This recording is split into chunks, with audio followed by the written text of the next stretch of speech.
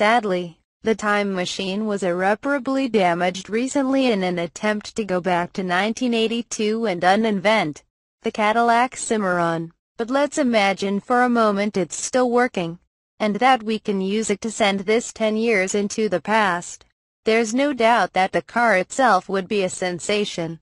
This is a 300 plus HP front-wheel drive hatchback that's capable of lapping the Nürburgring Nordschleife in less than 8 minutes and with styling seemingly inspired by the body armor of an Imperial Stormtrooper. Yet the R would also have been highly controversial for being turbocharged back when the Honda brand was still practically fetishizing natural aspiration. So the question for 2015 is whether the ends really justify the means.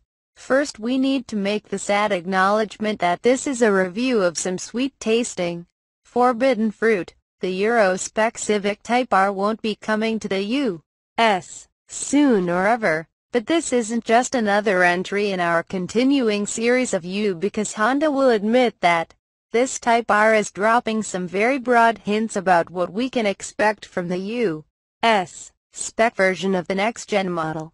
Yes, that you and it almost certainly will use the same Ohio-built turbocharged engine. Bringing us back to the big issue. Is this a good idea? The growing ubiquity of forced induction among small-capacity engines means the idea of a turbocharged Honda isn't as shocking as it would have been a decade ago.